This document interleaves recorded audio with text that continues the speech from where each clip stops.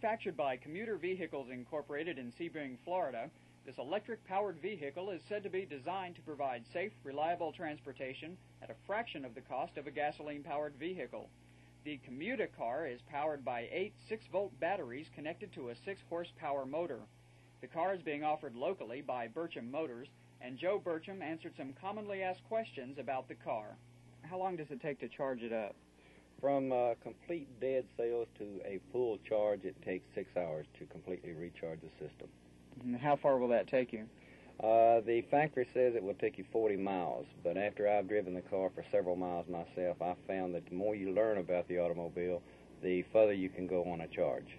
What kind of uh, driving conditions would you suggest maybe uh, to save a little bit more of the charge? Well, for an example, when uh, you see a red light is changing in front of you, gradually slow to a stop, and uh, then when you take off, you don't fully accelerate. When you're going down hills, put it in a coast position and let the car coast as much as possible. That way, I think you can get in the excess of 50, 55 miles out of a charge. Mm-hmm. The manufacturer says that with energy costs of only one and a half cents per mile, you need only wave at your friendly gas station attendant as you drive by.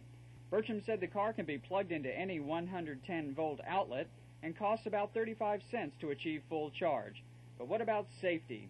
The makers say the car has passed U.S. government standards.